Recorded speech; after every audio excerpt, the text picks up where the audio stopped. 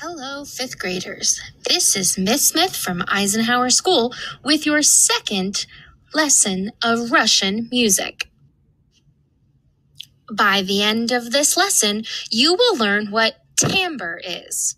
You will be able to describe the timbre of traditional Russian singing. You will also be able to identify an example of Cossack dancing in a famous ballet. Last week, I asked you to list the Russian instruments you heard in this Russian folk song called Kalinka in a private comment in our Google Classroom. Let's listen to the first few seconds of the song to remind us what it sounds like. Then, I would like you to be able to tell me what instruments you heard and what happened to the tempo of this folk song.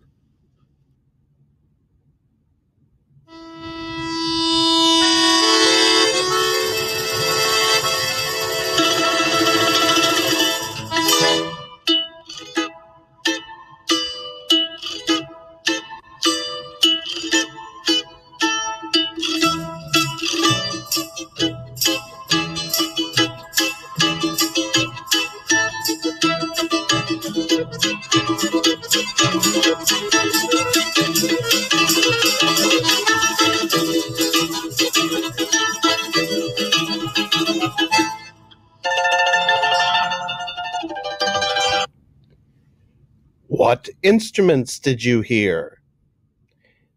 The answer is the balalaika and the bayan. What happened to the tempo of this folk song?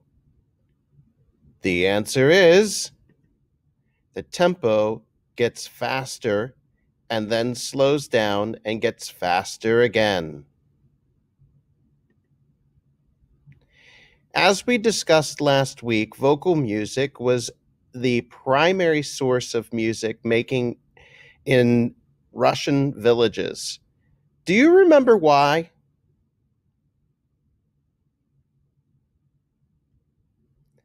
Instruments were hard to afford due to poverty in the village.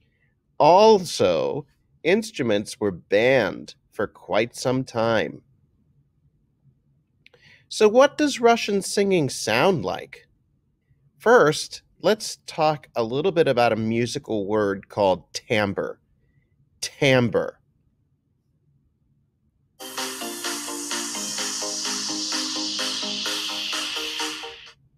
Timbre. Another word for timbre is tone. Timbre is the distinguishing characteristic that differentiates one sound from another, despite the fact that they might be playing the same frequency with the same amplitude. When we're describing a sound's timbre, we use words like sharp, round, reedy, brassy, or bright to describe them. Let's correlate timbre to flavor. Think of apples. They're a type of fruit that has a typical shape, color, and flavor, but inside the category of apples, there's a huge amount of variation. Some apples are very sweet, while others are more sour. Some are red, while others are green. They're all still apples, but each one with a distinct characteristic. Red Delicious is different from McIntosh, is different from Gala, is different from Honey Crisp. Even when describing one type, there might be variations from apple to apple. Same thing goes for sound sources. One category of timbre we use quite often is strings. Inside of the string family, we have violins, violas, cellos, and double basses. They have similar timbres and tones in some ways, but each one is distinct. When comparing two different violins, one might have a very bright sound while the other is more muted and dark. Even when playing one violin, we can produce different timbres by bowing a different way. Now that we know what timbre is, I'd like you to take a listen to these two Russian folk songs that are sung. Describe the sounds that you hear using adjectives. Be ready to share your adjectives for each video after the videos are done playing.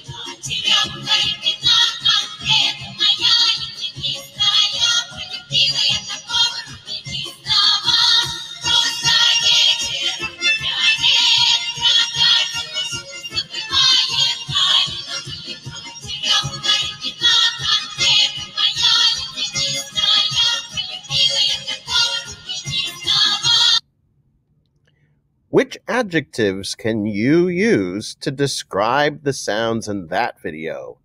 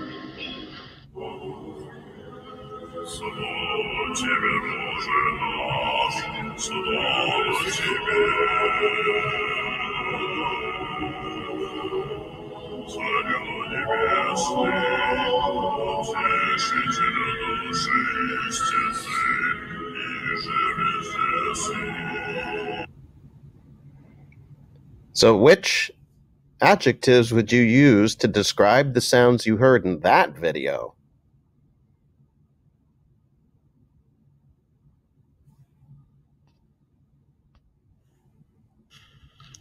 Traditional Russian singing involves a lot of chest voice, especially for female voices. The vocal range for females does not go very high in these traditional singing techniques. An example of this was in the first video that we watched in the previous slide. Those extremely low male singing voices that you heard in the second video on the previous slide are typically done by a voice part called basso profondo or in Russia, they call them octavists. Since singing voices develop over time, most Russian octavists are older men. Also, the Red Army Choir is a famous all male choir from Russia. You'll hear them in this slide.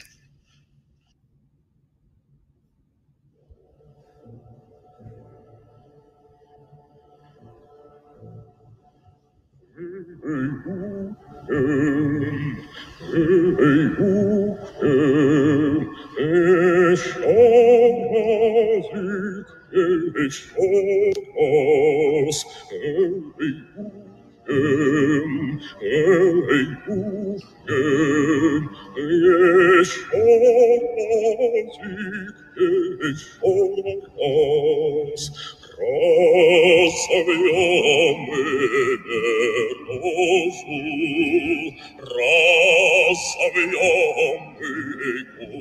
Oh, oh, oh.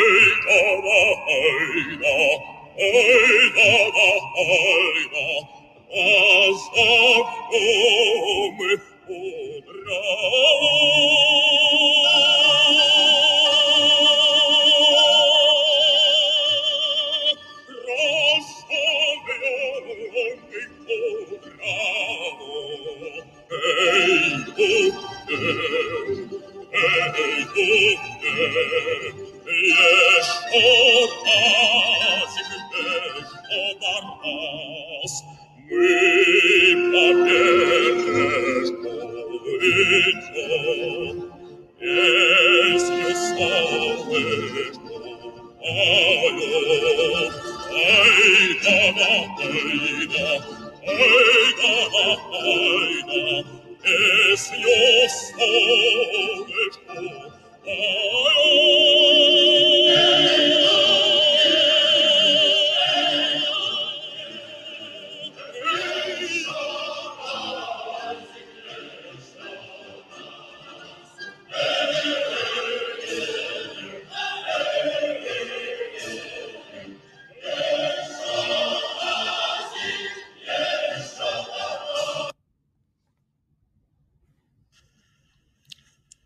this video, we'll take a look at a traditional type of dance called Cossack dancing. Cossack dancing originated in the Ukraine and southern Russia. Be sure to take a look at all of the leg power they use in order to do this type of dance. different. I'm here in Manchester to meet Orlik, a Cossack dancing group that have been going since 1949. Cossack dancing is widely regarded as the national dance of Ukraine. It originated in southern Russia and Ukraine in the 16th century. It started as a way of men celebrating their victories in battle, but the dance style soon spread to local villages.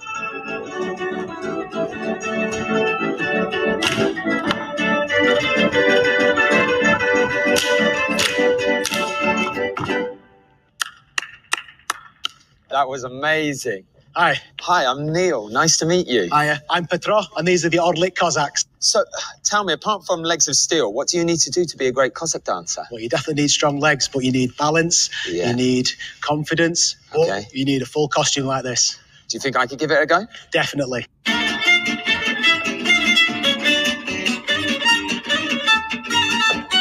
Looking good. Okay, so what's first then?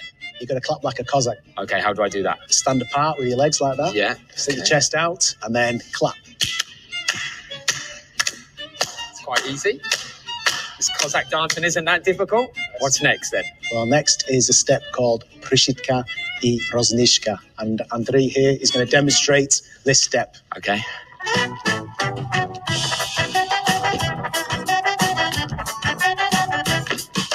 Okay? Yeah, no problem. Let's try that together, yeah? No problem. Ready? Okay.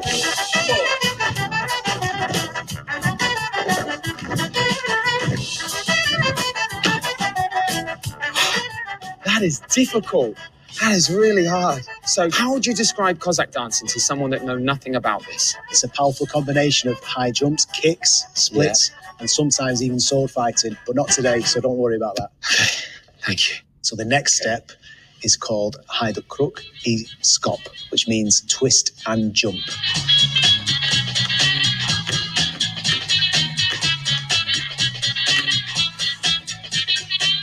I like that bit. Can we go with that bit at the end? Okay, I'm going to give this a go. I'm not sure if I can do it. You count me in and we'll do it together.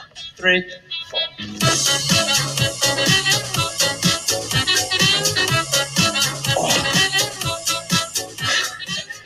Got to finish with that one. That, I feel that on the legs. Okay, I've had a great time. Thank you very much. Oh, hang on a minute, we haven't finished yet. There's more? There's more. It's the most difficult step that we can think of for you. Okay, show me. This is called posenettes. It's where you're going to squat down and kick your legs out. Watch out for the extra move at the end. And finish. What do you think? Yeah, that looks really easy. Okay. Yeah. On my count. Three, four.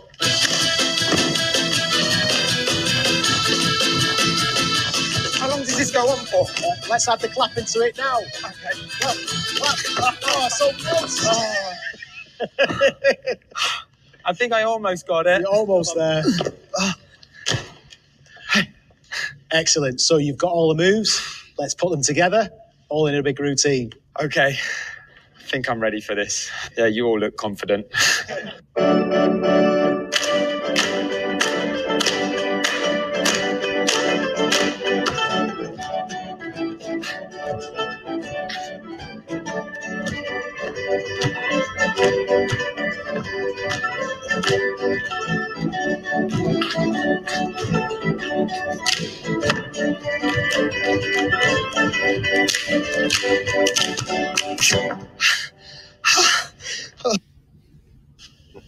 Another type of famous dance that is often associated with Russia is the ballet The Nutcracker.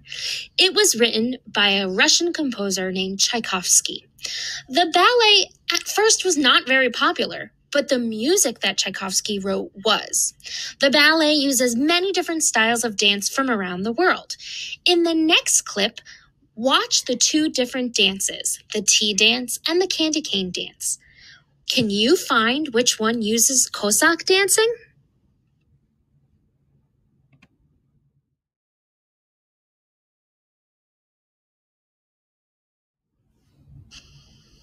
Please take the exit ticket found in your Google Classroom about the music of Russia.